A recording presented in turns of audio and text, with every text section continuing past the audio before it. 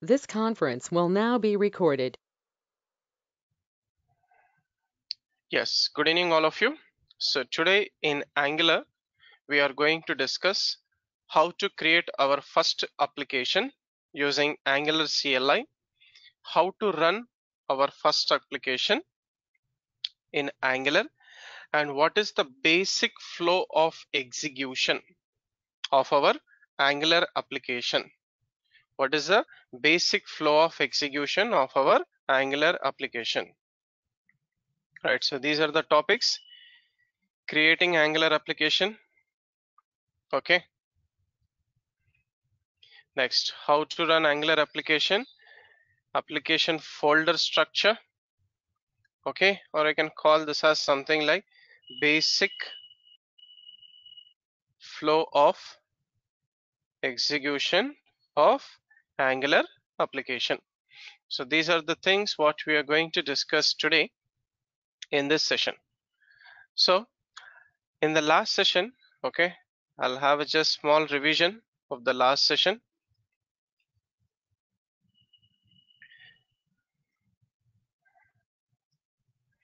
Right, so in the last session, we have seen what are the software prerequisites for our Angular application. Okay, so we have seen software requirements for Angular application development. Okay, so first one is Node. Okay, so you can download Node from nodejs.org. You can install next finish. No need to do any changes or setting. So after installation, we have to verify this using the command node hyphen v Yeah, but before installing node, first thing what we have to install is basic one, A. So node is the second one, B. So first we have to install Visual Studio Code. Visual Studio Code, which is an integrated development environment for our Angular applications. Okay, and after that, in the terminal of the Visual Studio Code, we have to install the, I mean, we have to download and install the Node or Node.js from the website. And after installation in the Visual Studio Code, we have to verify it by using the command node-v. So right, so I'll just open this Visual Studio Code. So click on view and go to the terminal okay. Now inside this terminal okay I'm going to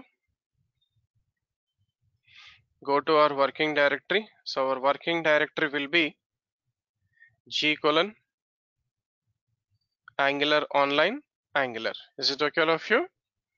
Right so this will be our working directory. So I'll write it here. Note. So our working directory is g colon angular online. So in that we are going to have it as angular. So this will be our working directory. So go to our working directory and type this command node hyphen v. So this is the latest version of the node which is installed in my system. Right all of you? Right after that whenever we install node along with that npm is also installed. So npm is nothing but node package manager. It helps us to install open javascript libraries into node modules into node directories okay? And so that we can uh, develop our applications more effectively using those libraries in angular. So if you want to download any third party libraries which are provided by different organizations we have to install it through npm so these libraries will be included into node modules. Modules is nothing but our packages or library. So node is by default available with and npm is by default available with node. So just go to terminal and type npm hyphen v and check it out okay? So npm hyphen v in the terminal of visual studio code. Right so we can see here the npm version which is installed in my system is 6.9.0 right so next after that the fourth one is we should install angular cli okay so angular cli so cli stands for command line interface. Okay so cli stands for command line interface. Now using this command line interface we can develop our project folder structure in our system which is going to run on node server. Is it okay all of you? Right. So it helps us in developing i mean it helps us in creating the project folder structure. Like for example if you take uh, netbeans whenever we create a web application or eclipse whenever we create a web application okay? So all even even in the like uh, visual studio also visual studio whenever you create a .NET web application automatically you'll get the folder structure. So that kind of folder structure is provided for our angular application. And this is done with the help of angular CLI and first to install angular CLI we have to use the command npm install hyphen g at the rate angular forward slash CLI so hyphen g indicates that we are going to install angular globally in our system so that we can uh, create our project in any folder any drive and we can run it from anywhere from any drive and any folder in our system. Is it okay all of you. Next. After installing this okay how to verify this? So for verifying this we use ngv okay so in our system yesterday we have already installed npm install hyphen g at the rate angular by CLI. It is already installed in our system. I'm not going to install it once again. Okay, right. So what I'm going to do is I'm just going to run the command ngv. It will verify what is the version of the Angular which is installed in our system. Right. So we can see here ngv right so we can see the version of angular cli angular which is installed in our system which is 8.1 okay? 8.1 it is installed in our system. And uh, this angular cli is working on node 10.16 and our operating system is Windows 64-bit operating system. And these are the packages and their respective versions which are installed in our node modules. Okay? Right. So this is what is all about uh, yesterday's session. What are the software requirements for our angular application development using node in our visual studio code okay right so first one visual studio code. Second one node. So third one npm and fourth one angular cli is it okay all of you? Command line interface. Now let's start with okay creating our first application in our system using terminal in visual studio code. So what are the different commands which we require for that okay? So the first command what we require is ng new okay. So ng new followed by the application name. So the application name what i'm going to use is first hyphen app. It is not compulsory that we have to use this. We can also use first app without any spaces and hyphen. Okay. So so it is the command ng new so ng new is the command. It will create a new application. Creates a new angular application okay? And this will create complete folder structure. It creates complete folder structure for our angular application okay? And this folder structure will be created under our working directory okay? So angular application folder structure is created in our working directory. Right so let's try to do this. Ng new first time. It is not compulsory that we should have hyphen okay? We can have without hyphen we can take caps letters we can take small letters we can take combination of both but not okay? Hyphen is not mandatory. So let's go to the visual studio code so in the inside the visual studio code right terminal go to our working directory. So our working directory is g colon angular online. Angular is the folder. So under this folder i'm going to type ng new right. So my first application is first hyphen app right. Just press enter okay right. So it is asking us do you want to add routing angular routing module. Okay. So basically we use this angular routing module for developing single page applications. Okay. And the main use of angular is also single page application development. You can say it as s y enter. And next it is asking us which style sheet format would you like to use? Css scss sass less stylus. Is it okay all of you? So the standard uh, css which is supported for all the web application as per www world wide web Consor consortium is css we can use up arrow and down arrow. If you can see here i'm using down arrow and up arrow to traverse to this okay? Uh, different options. So select css using up arrow and down arrow and click on enter. So css is the first selection. What we have to do it using up arrow and down arrow. Okay and click on enter. Right so click on enter.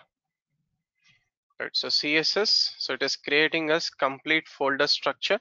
If you can see here guys complete folder structure is getting created for our application. So same like netbeans and eclipse for developing any web application uh, for developing any uh, web service or for developing any enterprise application. Is it okay all of you? Now it will take some time because it is going to uh, add the modules or the packages which are required for our application from the uh, node uh, provided server through the internet. Is it okay all of you? So it will take some time depending on the speed of the internet. So let's wait for that. Okay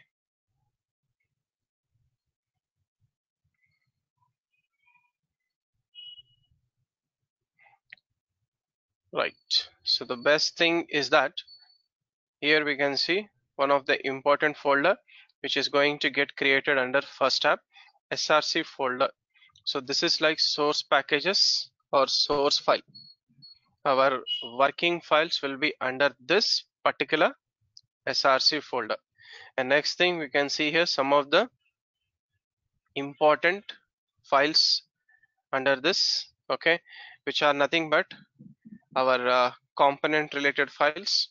So app.component.ts this is where we write our typescript.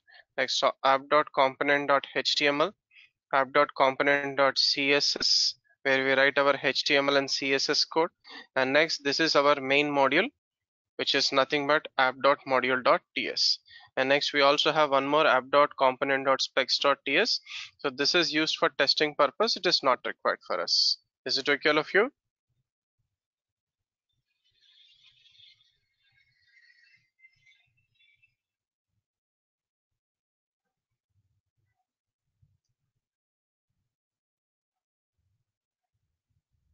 Right. Amit, is it visible now?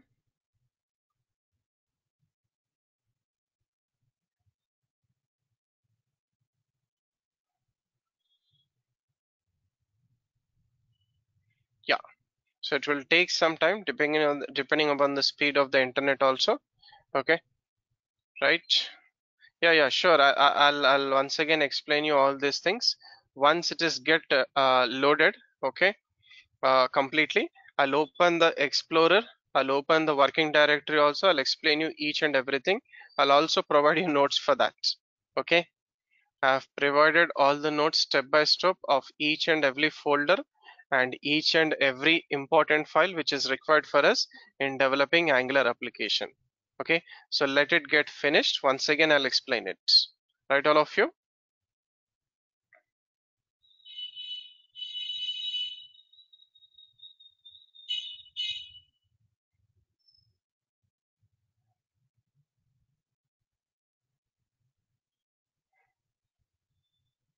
It's almost all 50% of the application folder structure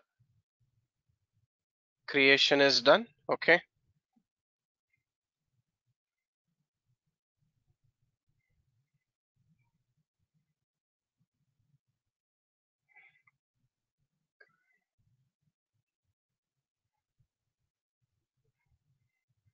So we can see the progress bar here at the down guys hope it is visible for you so 50% is completed and remaining 50% is has to be done. It uh, depends on the speed of the internet okay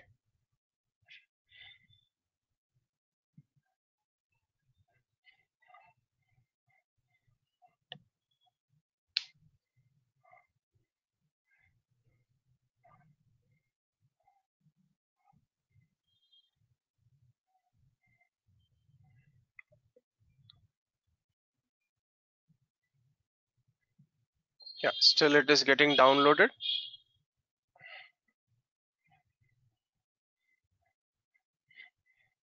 Right in the meantime if you can see the status here. Right this is one of the important folder src folder. Is it okay guys all of you? Which is going to create in under our application folder in our working directory. And this folder contains five main files. First one module file and under that module you'll have the component file. So in this component file we have our ts file typescript file. Next and for this component we are going to have a html file where we'll be writing our html code and css files for our styles. And data and logic we are going to write it under component.ts and next we also have one more file component so this is mainly used for testing related okay content. If you want to perform any unit testing related content we are going to do in that. So that is uh, uh, not our concern as of now. Is it okay? Right.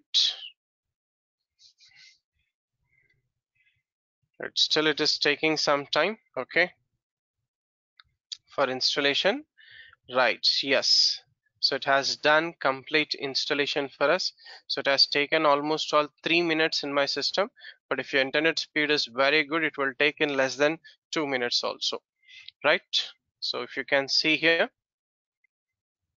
added 1078 packages from 1045 contributors and uh, 17,111 packages in 340 seconds. Almost all it has taken five minutes plus right fine. Now let's try to open this from our operating system.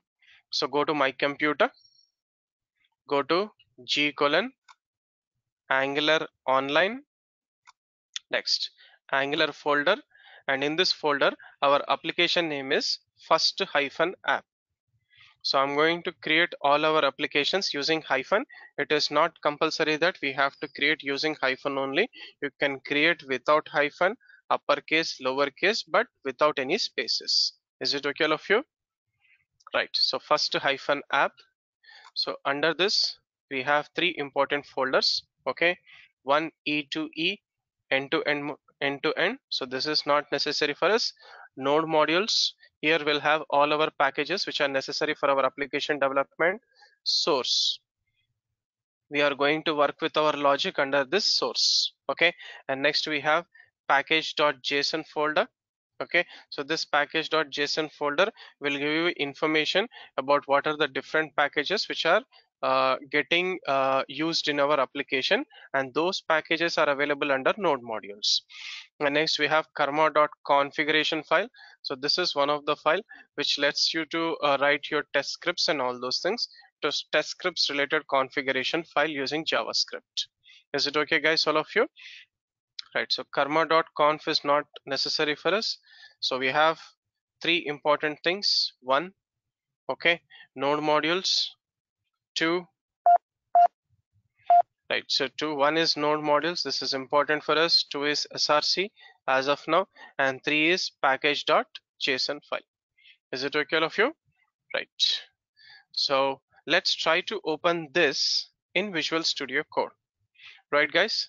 So what i'm going to do is in visual studio code okay i'll just minimize the terminal okay? Click on explorer option on the left side. Click on explorer option on the left side. Okay. Right or else you can go to view and you can click on explorer also. We can go to view view menu and we can also click on explorer on the left uh, drop down menu. So when you click on explorer okay so you'll be getting your uh, working directories available here. So what i'm going to do is i'm going to click on file and say open folder. So click on file and say open folder. Next you can open your first app my computer g colon angular online and then you can open your angular folder first hyphen app. Click on select folder right. So your visual studio code will be reloading that completely in this explorer. Now here on the left side okay you can see the same folders. One node modules. Two src and three package.json okay right guys? So in package.json if you can double click this we can see what are the different packages which are getting used in our application okay? These are the different packages. Animations common core forms router etc okay? Now all these packages i'll just close okay. All these packages are available in node modules. Node module folders. Okay? So under node module folders you'll have the packages starting with at the rate symbol. Right guys and next coming to the src folder. So under src folder okay so i'll just close this package.json from the right side okay. So under src folder we have the first file which is very very important file okay. Uh right so we'll try to in, uh, understand this later. Uh, main.ts okay. And next to index.html and then our working directory which is right guys for our, our working directory which is nothing but app. So in that app you will have app.module.ts next app.component.ts okay and then next app.component.html and app.component.css okay right all of you? So these are some important files for working with our angular first application. Okay so from the right side of the visual studio code i'll just close all these files as of now okay? Right? Fine? I'll just close all these files as of now. Right so what i'm going to do is i'm going to click on view and say here terminal. Right so if you can see here right i'll just move this explorer to the left side by clicking on the explorer option. And next i'll just maximize the terminal. Now inside the terminal since our application is folder is already available in the explorer the terminal the terminal is by default opened at g colon angular online angular followed by first app. So from here what i'm going to do is okay so i'm going to run one command okay and that command is right so so we have to go to cd first app to our working directory and then we have to run our application on Angular live development server, which is provided by Node using ng serve using ng serve. Right, I'll simply say here ng serve. Okay, so when you say ng serve, we'll be getting one home page. So let's check it out. What is that home page for our application? First app. Right, so it is compiling our application. So compiling our application means all our TypeScript is converted into JavaScript.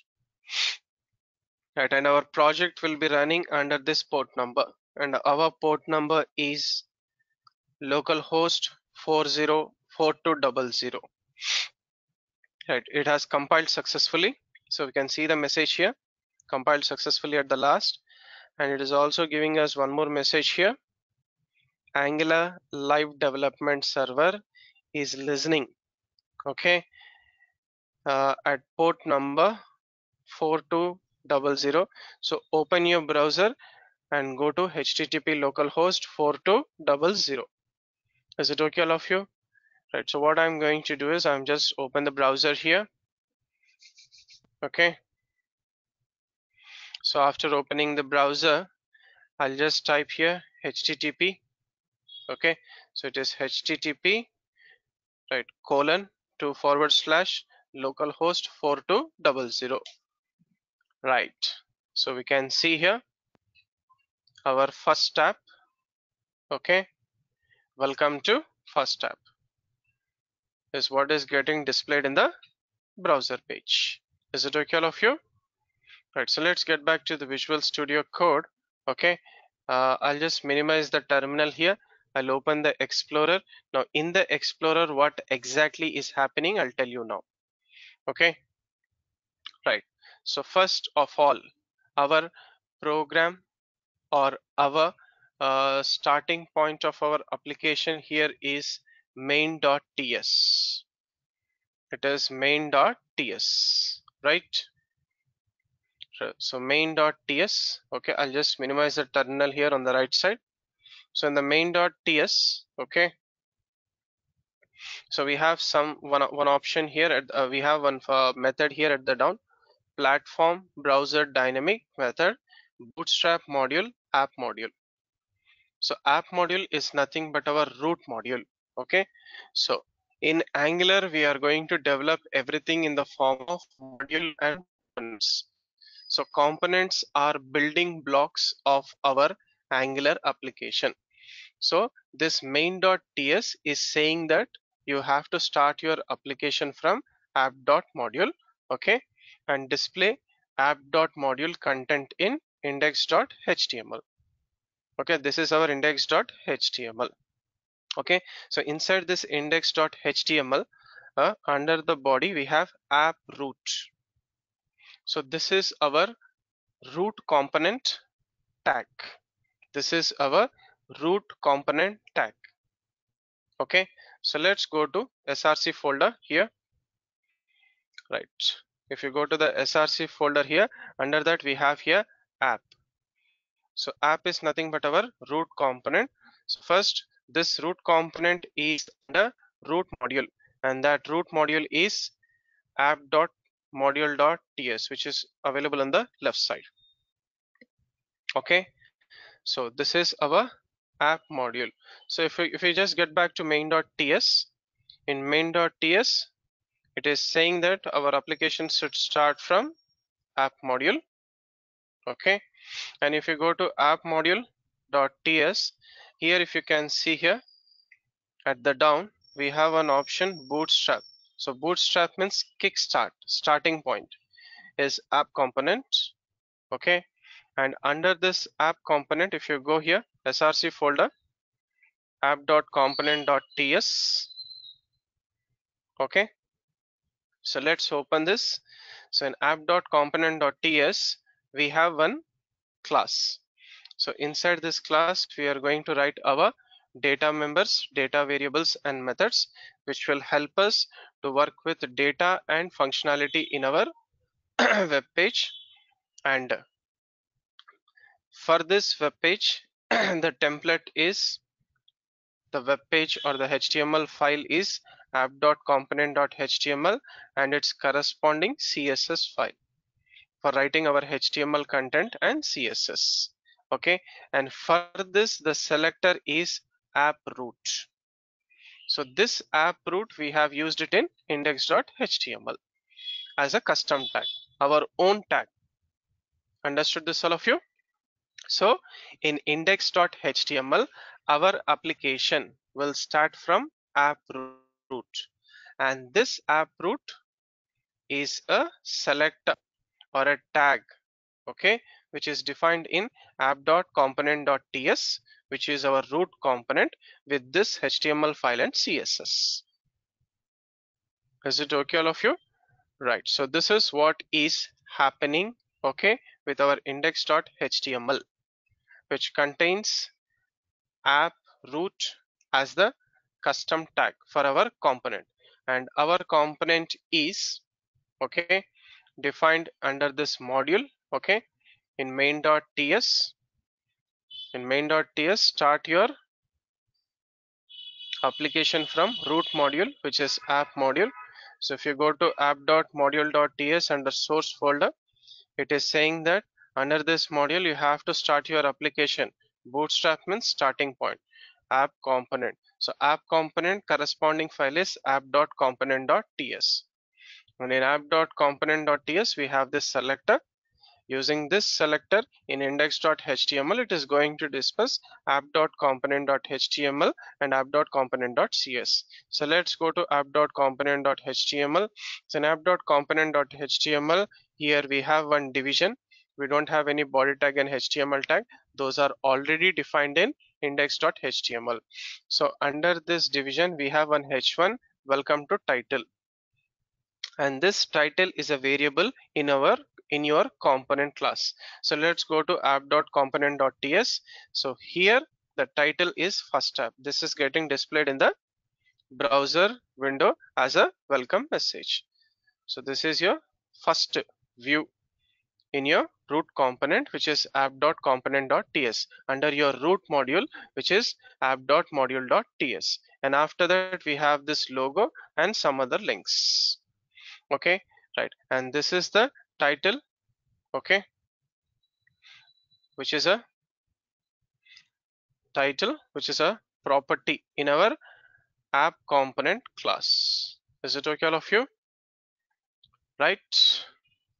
So next for this this is the corresponding view app.component.html after that we have this image and we have some other links here. Now I've just removed all these links here okay just I'll just uh, say cut here remove all these links save here automatically come to the browser here. We can see here all these links are removed from the bottom. Now once again I'll just say control Z paste all these links from in our app.component.html save it come to the browser. Automatically no need to say refresh. We'll be getting all these links here. Okay right so this is what is the basic flow of execution for our first application in angular. Is it okay all of you? Right so ng new first app. Go to your first app folder and ng serve okay so angular live development server will open your application in your system under a port number 4200 which is provided by node. Okay? Right so this is what is all about okay? Angular running under angular live development server at http localhost 4200 open the browser and type the above url to see the first app homepage. Okay? So first hyphen app is our application name. Is it okay guys all of you? Right so these are some basic commands what we are going to use okay for creating and running our application. First one ng new followed by new application name ng serve for compiling and running our application on node server. ng generate we are going to use this in the future for generating components services pipes routes etc right guys? So this is what is all about working with our angular application. So tomorrow i'm going to discuss what is the basic flow of execution okay of this application okay? Uh, with a small uh, uh, diagram also. Then you'll get clear understanding what exactly is happening in our angular application from where it is kickstarting. So right. So in today's session okay guys we have discussed how to work with creating first angular application how to run it what is the basic flow of execution of angular application for displaying the home page or index.html page using modules and components so tomorrow once again i'm going to explain you the clear understanding of flow of execution of each and every directory structure also. So that's all. What about today's session guys? Okay. Right just go through the video when I, once I upload it to the Google Drive for sharing and let me know if you have any queries. So thank you all of you for listening to this session